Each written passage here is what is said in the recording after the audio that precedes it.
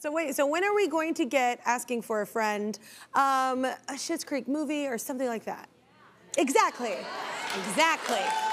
I know what the people I, want. I, mi- I honestly, I miss the show so much. You should. It's like one of the greatest shows ever to exist. Like I- this is a show I that know. literally family, friends, we could have nothing in common politically or religious, like sp- religiously speaking. I know. And we love this show. It's I know. like so I- I- great. yeah, Thank you.